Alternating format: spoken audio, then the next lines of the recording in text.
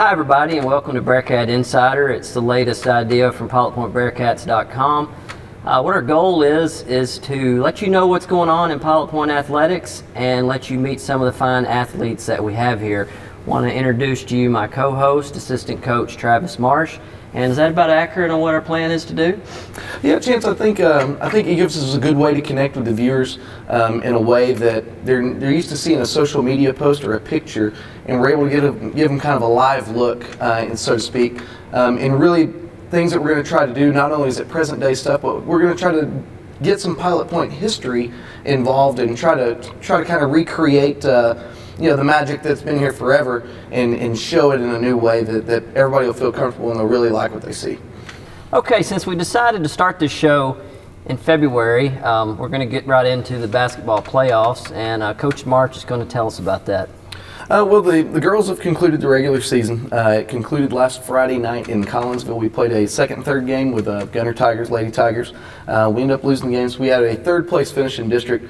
But the awesome thing about that is it ends, uh, from what I've heard, is a 15-year playoff drought for uh, for the Lady Cats, and so it really, really is good to see them back in the playoffs, back in the postseason. Um, I think it's really started something good. We had some some good young players come through uh, this season, and I think we're really set up for kind of some. Um, sustained success. Um, so the girls they finished the year at six and 18, uh, but the record's deceptive because they had five and five finish in district. No matter the outcome of the game, it's still just such a good, successful season um, for the Lady Cats. I'm, I'm, really, like I said, I'm, I'm, happy to see that program back because of, uh, you know, whenever I went through school here, uh, and I know that's what everybody wants to hear about is everybody else's glory days. Um, but from, uh, you know, the late 90s, early 2000s, we had some awesome talent come through here. Um, and, and I really enjoyed kind of seeing the, the tail end of Cassie Darwin whenever she was here um, and how successful those teams were. And I'm glad to see the Lady Cats are back on track uh, to where you know, maybe we're going to see some of those same, uh, you know, legends come through again. Um, on the boys' side, um, I know for sure we're in the playoffs. There is still a scenario that exists where we could either go third or fourth uh, in district. Um, most likely, we're going to end up with Van Alstyne in the first round. Um, but you know, if the seating changes, then that could change. Um, but we finish tomorrow night uh, here at home versus Whitesboro. Uh, it's a Monday night game, um, and so really excited. Hopefully, we can finish the season strong. Kind of go on another run like they went on last year. Um, at the at the end of the season, they got hot at just the right time. Ended up going a couple rounds deep in the playoffs, and so that's exciting to see as well. The game was originally scheduled for Tuesday. Why was it moved to Monday? Uh, coach Price, he got with the uh, the Whitesboro coach, uh, Coach Sluter, and uh, Coach Price really wanted our, our fan base and our fans to have the ability to, to be free to go support the Lady Cats for that playoff game on Tuesday night and not have to worry about a boys game here. So uh, really good looking out by Coach Price to try to take care of the Lady Cats program and, and take care of his own program as well to make sure we didn't split our fan base. Okay, that concludes basketball. This week was the last round of superlatives for football and we had a couple students this week named to the All-State team. What can you tell us about that, Coach? Well, um, you know, we're always proud of all of our athletes, of course, and, and we're always proud of all of their accomplishments on the field and off the field. But uh, Javon Bruce and Connor Lynch are, are two that uh, have been able to obtain uh, All-State status. And so uh, this week uh, was Texas Sports Writers Association. Uh, they they released their all-state teams, and so uh, Javon he was able to uh, be an honorable mention linebacker and running back. So that's pretty cool to be a, a two-way player on an all-state team. Uh, it's an indication of how special he is. And then also previously, uh, right around I guess it was first of the year, the Padilla poll released their all-state team, and he was a second-team running back. And then uh, Connor Lynch, affectionately known as Biscuit.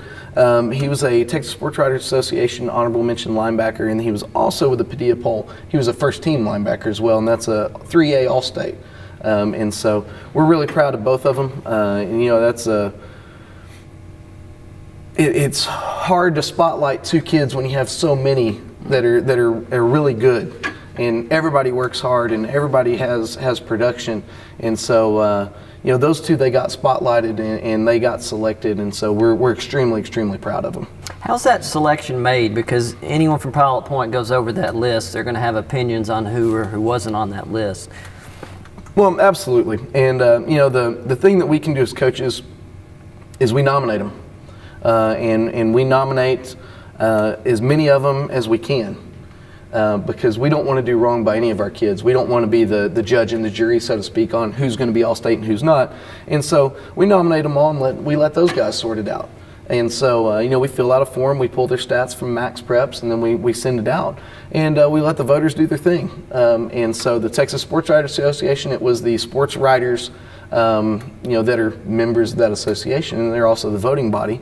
And then the PDA poll is uh, is coaches poll. And so, uh, you know, we got a vote and so naturally, I voted for all of our kids.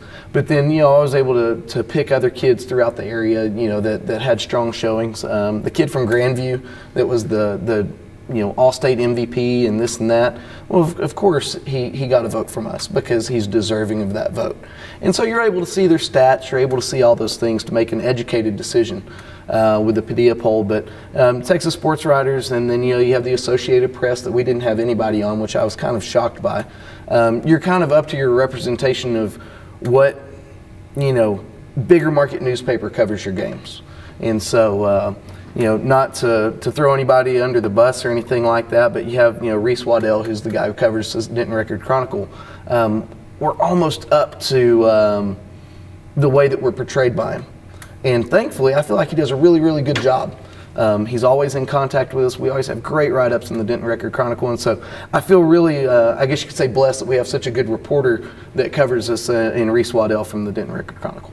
Okay, now on to baseball and softball. I know they've been playing uh, their scrimmages the past few weeks, and I think the regular season's about to start. Uh, what do you know about that, Coach? Well, um, with those seasons just starting, I don't know much. To be honest with you, I've been stuck in the gym uh, with junior high basketball and JV basketball, and that's getting wrapped up. And you know, with, without there's not much buzz right now because the, the real games haven't started yet. Uh, so February 18th, this, this coming Tuesday, um, the girls softball they're going to start with uh, with a game at Sanger. That's going to be their first regular season game, and then the boys will start on February 24th at Sanger. And so uh, Sanger's going to be the starting point for both teams. Um, but, you know, the, the thing about those seasons is they, since they kind of start in a weird spot with the end of basketball, the start of track, everything's going on with ag and FFA and everything else, the start of the season is usually overlooked because it's tournaments and everything like that. And so uh, it'll be more exciting as the season goes on and we get to district and we get to where we're in a Tuesday Friday schedule and we'll really be able to keep up with them a whole lot better. Um, but you know, Coach Kramer he, he does a great job with baseball. Uh, Coach Ramsey does a great job with softball, and so I'm really looking forward to the progress that those, both those teams are going to make throughout the season and, and hopefully going into the postseason. Well, up to this point, Chance, you've kind of taken the lead on this whole deal, and so I'll take a little pressure off of you. Um, what questions since you know I am an assistant coach here and I'm, I walk the halls of the school, I'm in and out of the field house, all those things. Uh, do you have any questions or anything that, that you want answered? Um, and then you know this will lead into some future things, of course. But what do you got for me? I do have a question, and I have a question that most people out there have asked as well. When is the football schedule coming out? Okay, so it's finished. Okay. All right, we have a schedule. We have ten games. Um, the district stayed the same. Now the order that we play the district games and the dates and home and away has all changed, but you know it's the same seven games that we're going to play no matter what. Uh, our preseason schedule is filled out. Our scrimmages are all full, um, and so it's all in place. Um, but we're not going to post anything official until after the superintendents meet. Okay, and so. Uh, it's going to be late February. Um, so we've already had a football district meeting. Uh, we had it the day that realignment happened. Uh, we set the schedule and all that. But all of that is in pencil, okay? Um, and then when the superintendents meet, uh, it becomes final because um, really the, the head coaches and, and everybody that's representing their schools whenever we meet and decide the schedule um, is kind of an unofficial process until the superintendents say, um, yes, that, that's what it is. We're going to go with that. Uh, they have the final say. And so uh, it's all finished. We're just waiting on it to be finalized. And as soon as it's final, um, you know, we'll talk about it, and I'm sure that we'll come up with something. Um, but until then, we're just going to be on pins and needles. So where I and other people out there have seen other teams posting their schedules, you guys are just holding back for the chance that something did change, and then we have a to have a redo and reschedule it and, and re- repost it and then have, have to make a correction? Well, from previous experience with you, whenever I've given you incorrect information, uh, you get frustrated. And so I'm really just trying to save, you know, our friendship here. I understand. Um, you know, because I think how many times did I change the start time for us and Brock at Pennington? That that I do remember that one, and that's, so it is wise that we probably Yes, wait. and, and so I want to wait until we have, you know, it's set in stone, and and that lets everybody set their calendar, and it, it reduces the amount of angry texts that I get from you. So end of February, mark your calendar. So, Chance, where do we go from here? What can we expect the next time that Bearcat Insider hits uh, hits the shelves, so to speak? Well, what I'd like to do is hear from the people out there and know what they would like for us to do and what would make them more inclined to watch. Uh, in the comments below there, you can uh, type in some questions because that way we can have more stuff to have uh, Coach Marsh answer. And then also any suggestions you have on who we should talk to, what sports we should cover. Um, I know we didn't talk powerlifting today. We need to get into that. We got track coming up. And we do have some big plans as far as the track meet here, which is on what day is that, Coach? Uh, the track meet here is going to be February 24th. That's going to be a Monday, and then the Thursday after, which I think is February 27th. Okay. Um, and so that'll be exciting. It's always fun to have events at home. But you know, going back to what you said, it, it, the part of this that excites me the most is the history part. Um, I don't know if that's because I'm part of it, uh, which is sad to say. It means I'm getting old. But you know, it, it's the history of this place and the rich history that's here on on both the girls' side and the boys' side. There's a lot that's happened in Pilot Point's uh, you know history over the years that, that is really really fun to talk about and sit down and. You know, uh, you were talking about the viewers' choice and things they wanted to see when, you know, what questions they wanted to ask. Um, you know, my brother, he, he lives in Philadelphia and he came down for the holidays and we like to sit and talk uh, about all things Bearcat because of how close both of us are to the program. And, you know, we talked about, well, we talked about it. I asked him, you know, okay, what's one of your all-time favorite Bearcat moments? You know, and I don't remember his answer right off the top of my head, but I know whenever he threw the question back at me, um, one of my favorite Bearcat moments I remember when being in bleachers whenever I was, you know, 12, 13 years old in Celina.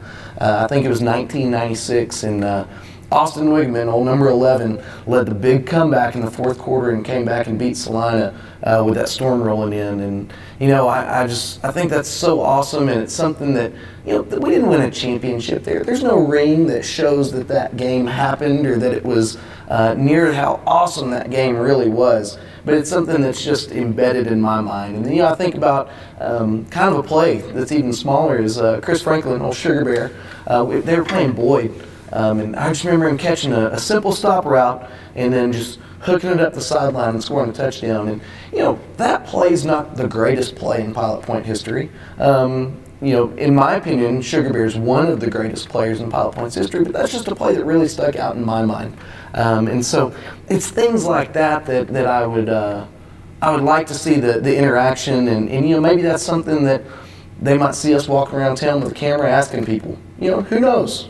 Y'all better stay on your toes. Okay, but Chance, what's what's one of your favorite Bearcat moments, or you know something out of Bearcat history that just kind of sticks out to you?